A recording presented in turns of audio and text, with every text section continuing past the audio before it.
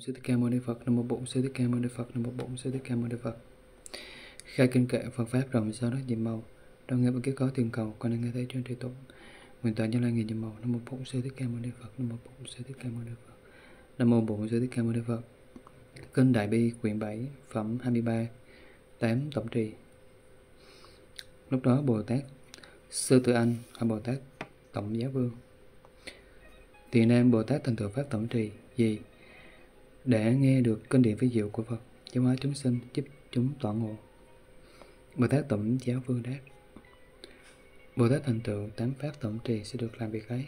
Tám pháp tịnh quan âm, vô tận pháp tạng, cho tận thoái tiến, hệ ấn ý, liên hoa nghiêm, nhập vô ngại ấn, nhập phân biệt biện, kiến lập Phật trang nghiêm.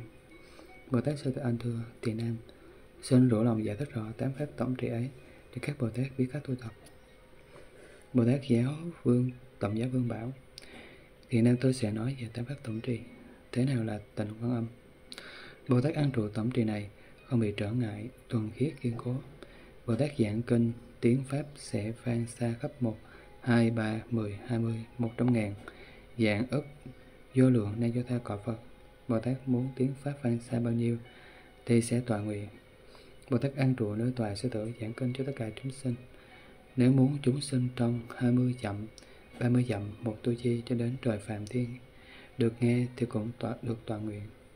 Tất cả chúng sinh tùy theo căn cánh, căn tánh mà nghe và hiểu Pháp. Bồ Tát an tọa nơi tòa sẽ tử, chư Phật khắp mười phương hiện thân thuyết Pháp cho Bồ Tát. Nhờ nghe Pháp, Bồ Tát đạt sức tổng trì, nhớ kỹ Pháp, hiểu nghĩa Pháp, đủ biện tài giảng thuyết, từ một chữ giảng vô số nghĩa với tác giảng các pháp không tướng, không nơi chốn, không dựng trụ, an nhiên, không trùng lập, không đến, thanh tịnh, không căn, không sinh, không biên giới, không thành, không tầm, không hành, không gặp khởi, không nhân chuyên, không hạn, không chống, không diệt, không nguyện, không đùa, không vọng tưởng, hợp, không hợp, không thể nói năng, không giáo hóa, không niệm, không hư, không dựa, không hối, không suy xét, không thầy bạn, vắng lặng, không ngã, không nhân, không tọa mạng, không trường tồn, không oai nghi, rộng lặng, tịch tỉnh từ bên trong, không thời gian, không làm, không chấp, không tu tập, không thân, không tạo tác, không nghiệp, không nhập, không báo, không hợp, không hoại, không lấy bỏ, không chấp, không nắm bắt,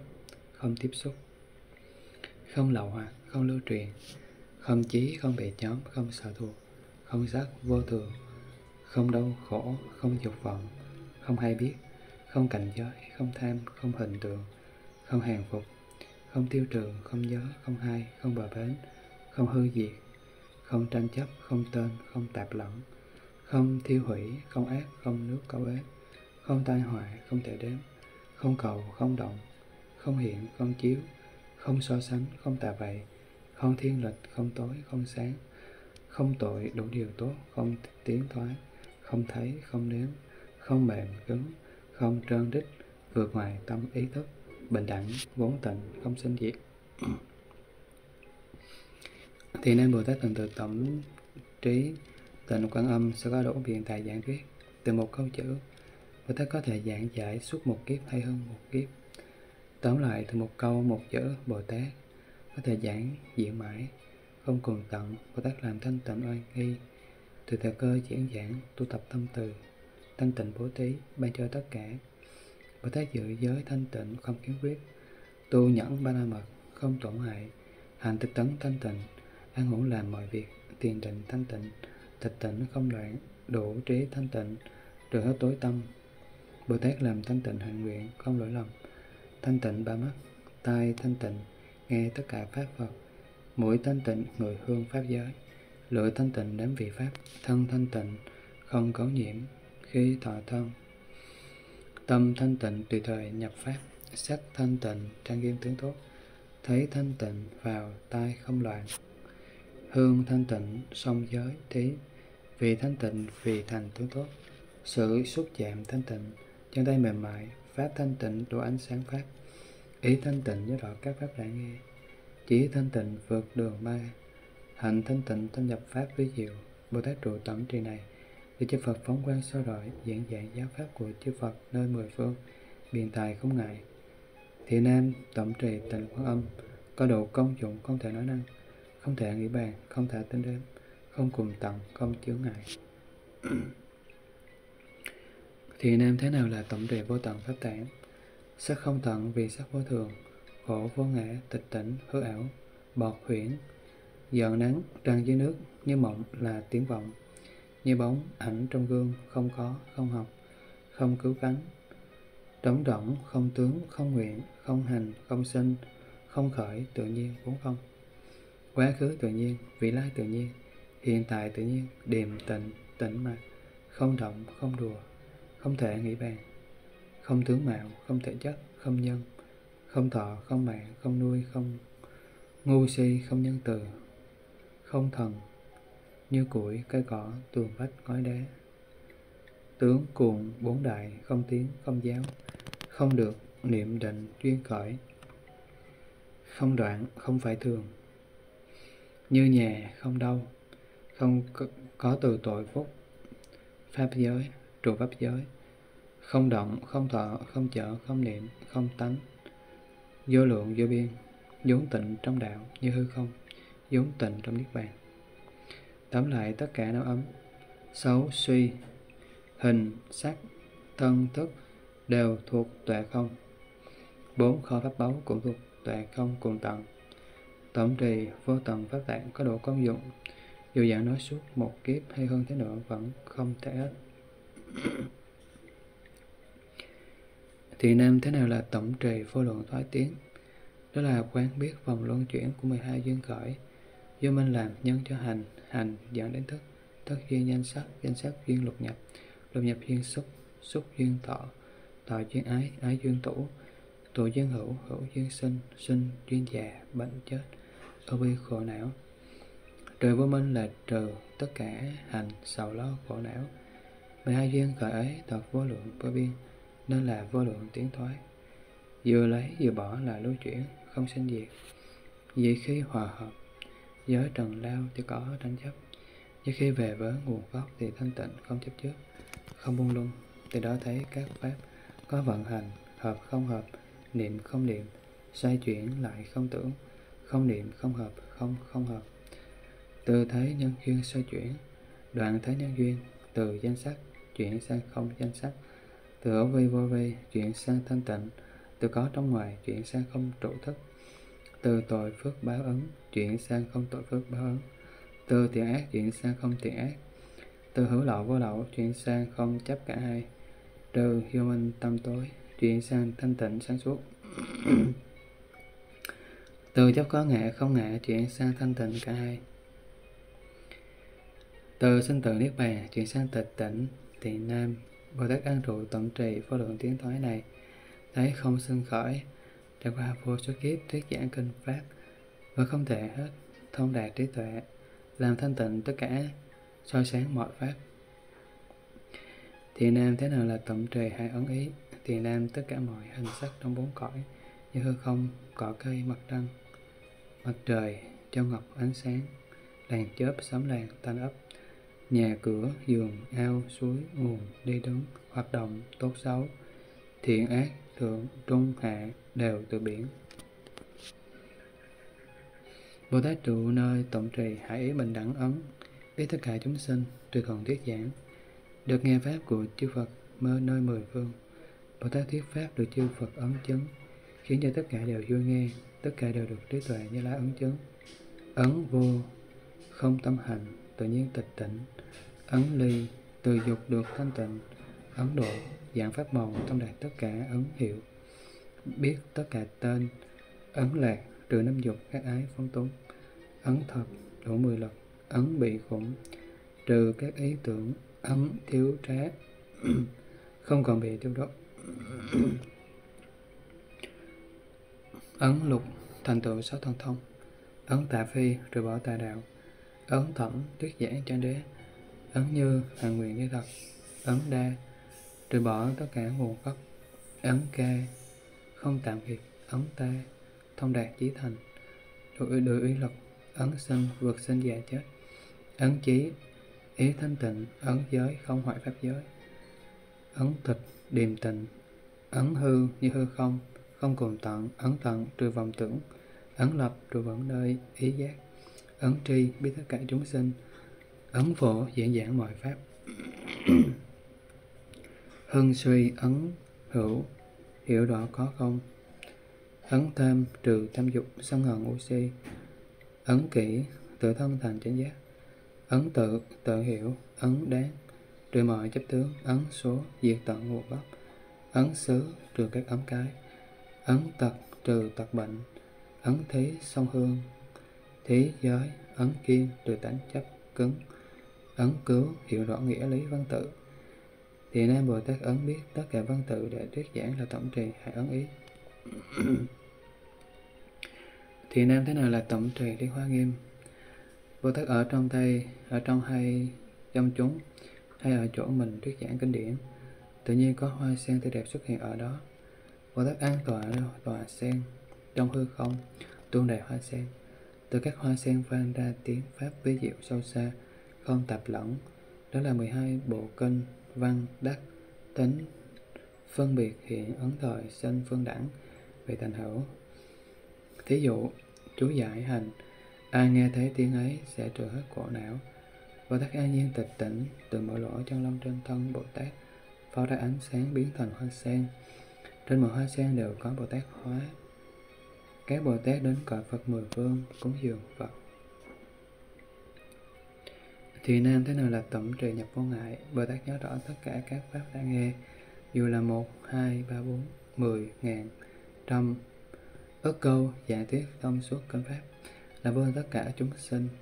Luôn thuận hợp, không tán loạn, đi lại vô lượng vô số cõi Phật thuyết giảng kinh pháp. Từ một cõi Phật, từ một cõi hai, ba, bốn, mười, trăm ngàn ức cõi và không chấp trước, không trụ viên lời của Bồ Tát hòa nhã êm dịu, hợp thời, không đổi lầm tất cả đều chú nghe, không chướng ngại. Thì nam thế nào là tổng trì nhập phân biệt.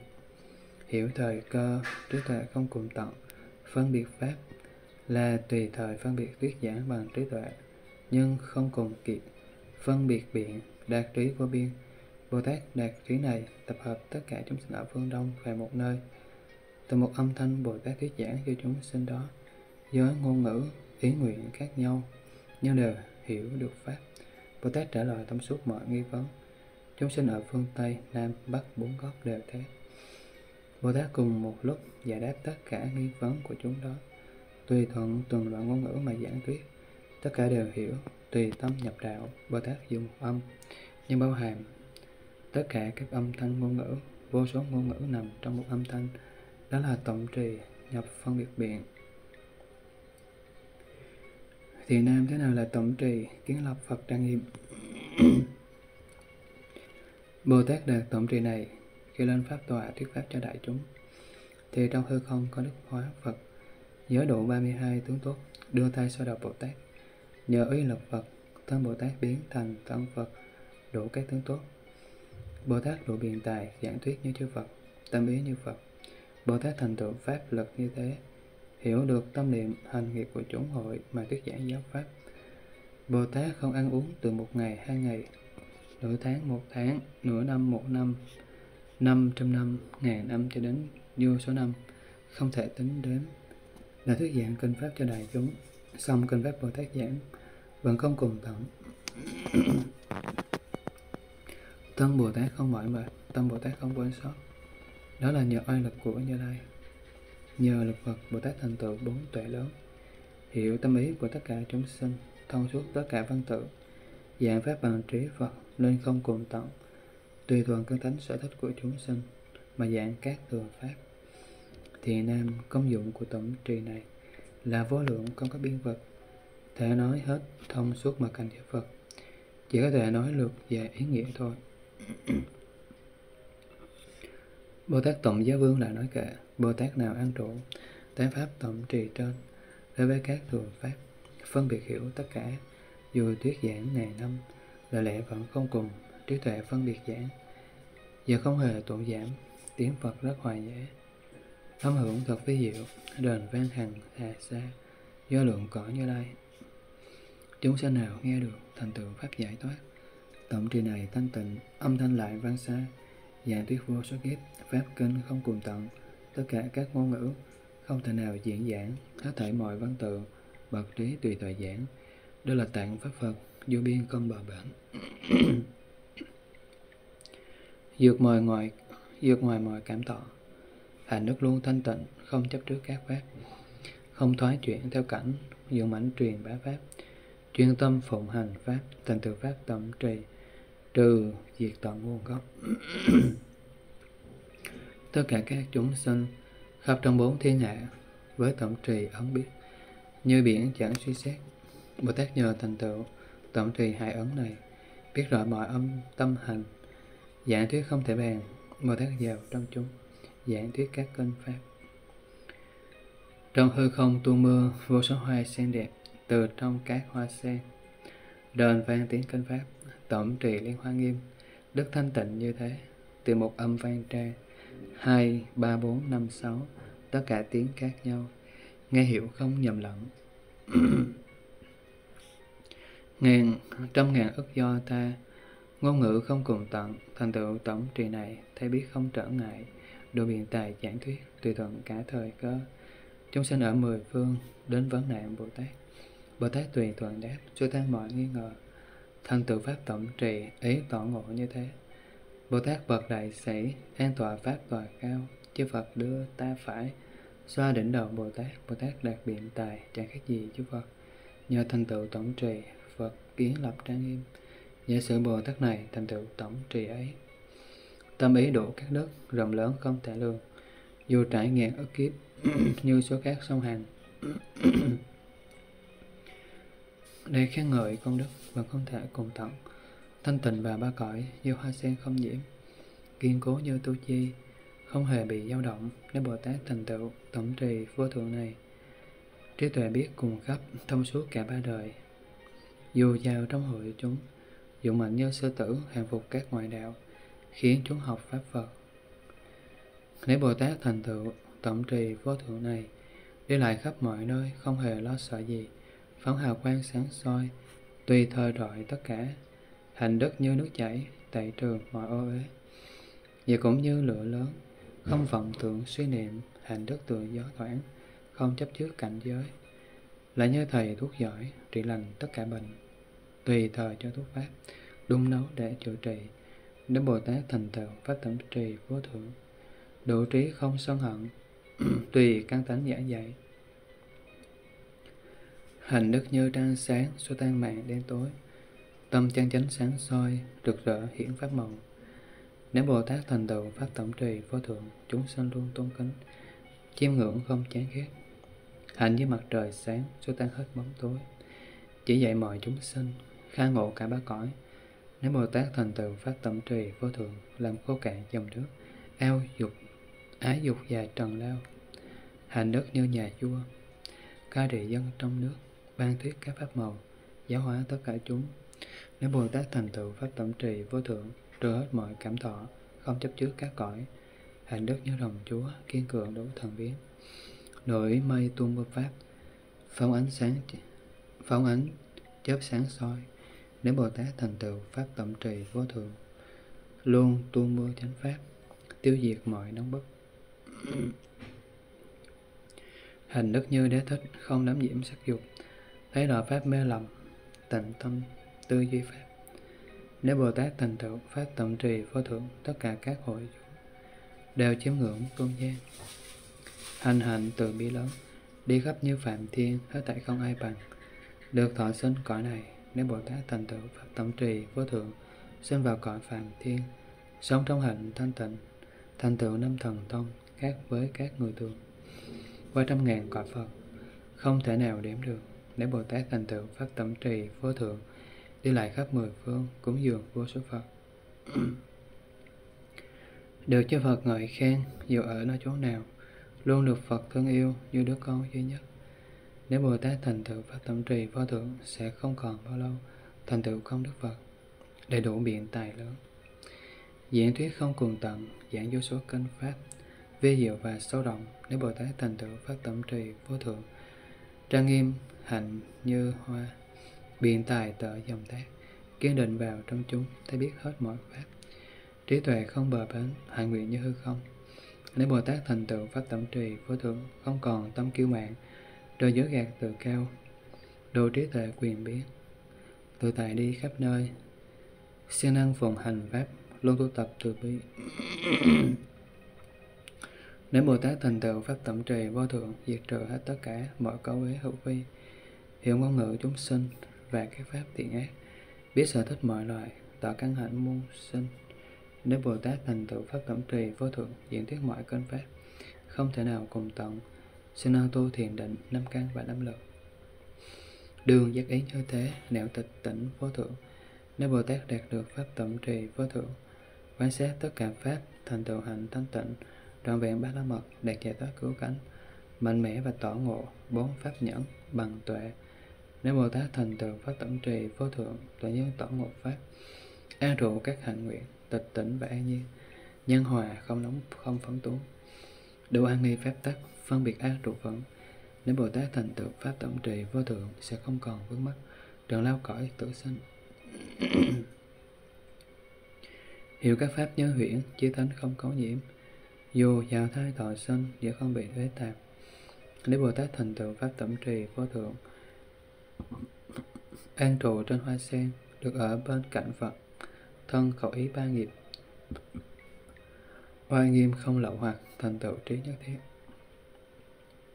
Hóa độ mọi quần bế nếu bồ tát thành tựu pháp tổng trì vô thượng để cho phật giáo hộ, tự tại các pháp màu thành tựu trí tuệ lớn, hành đạo vì chúng sinh, trải qua vô số kiếp. Ca ngợi vẫn không hết nếu bồ tát thành tựu pháp tổng trì vô thượng, đoàn viện các công đức không thể nào tính đếm đức thế tôn ngợi khen bồ tát tổng giác hương hay thay hay thay. Ông đã khéo giảng, diễn về các pháp tổng trì. Pháp này tự tại, không nương tựa không cần người khác. Ông đã từng hỏi pháp tổng trì này với chư phật quá khứ. Thì nam, đó là thật pháp. Hãy quán sát kỹ. Nam mô bổn sư thích ca mâu ni phật. Kinh đại bi quyển 7 quyển đem công đức này hồi hướng về cấp cả. Đệ tử và chúng sinh để trọn thành phật đạo.